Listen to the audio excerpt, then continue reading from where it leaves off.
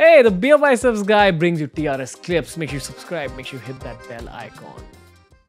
Okay, and my final uh, question to you is that if you had to just give, like, from 30 years of your life, if you had to condense it down to like three learnings, what would you share with the world? There is no time, there's no right time for something. The right time is now. Take action. Take action. Don't wait. We all procrastinate, but don't wait. Um, don't try too hard. Um, and um, and seize every moment to be happy.